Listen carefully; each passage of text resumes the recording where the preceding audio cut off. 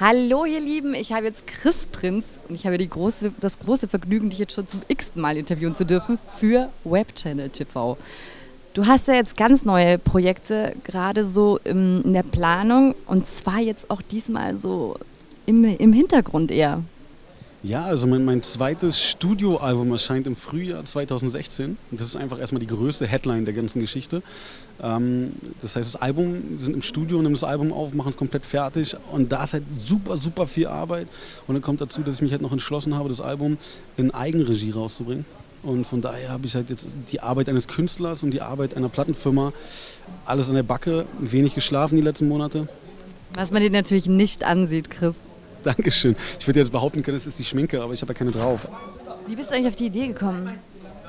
Auf welche Idee? Ja, das ist mit der Plattenfirma, äh, Plattenlabel. Ähm, weil ich irgendwie, also ich habe, mein Leben lang jetzt gelogen, aber ich bin ja ganz in meiner Arbeitswelt gewesen und ich war, also ich bin aus dem Immobilienbereich, ist leider so ein Berufszweig, der nicht ganz so beliebt ist, aber ich bin rein, wenn es so um BWL-Kenntnisse geht, rein um wirtschaftliche Kenntnisse, rein um Strukturiertheit, war ich schon immer ganz gut aufgestellt. Also von der Ahnung her, ich habe es halt gelernt.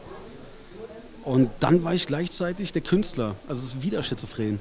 Und ähm, jetzt habe ich halt die Möglichkeit, meine Stärken oder auch das, was ich liebe und aus Leidenschaft mache, miteinander zu verbinden. Das heißt, ich kann jetzt den, den kreativen Posten des Chris Prinz übernehmen und den äh, wirtschaftlichen Posten der, der Plattenfirma.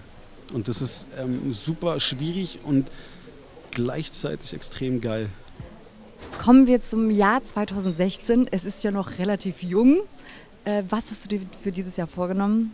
Ja, extrem viel. Also wie ich schon erzählt habe oder wie du schon angedeutet hast, ich habe das Jahr 2015 eigentlich nur im Hintergrund verbracht.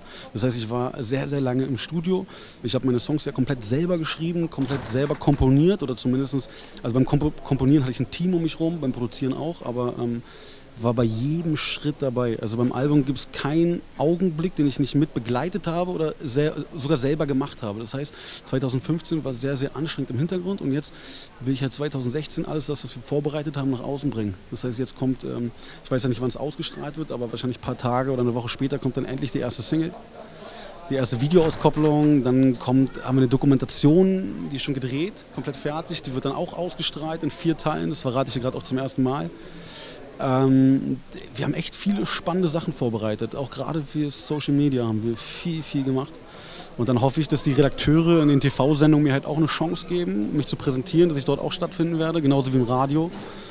Und wenn das alles so funktioniert, dann werden wir uns ähm, noch des Öfteren sehen. Chris, wir glauben an dich. Es geht jetzt Schlag auf Schlag. Vielen Dank. Danke dir.